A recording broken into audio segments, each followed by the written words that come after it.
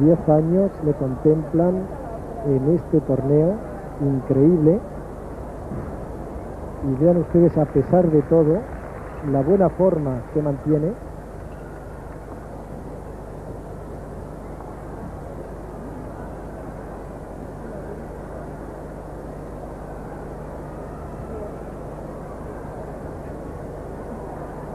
Y todo lo hace por pura afición, por puro amor a este deporte del que nos demuestra constantemente que es un entusiasta fenomenal.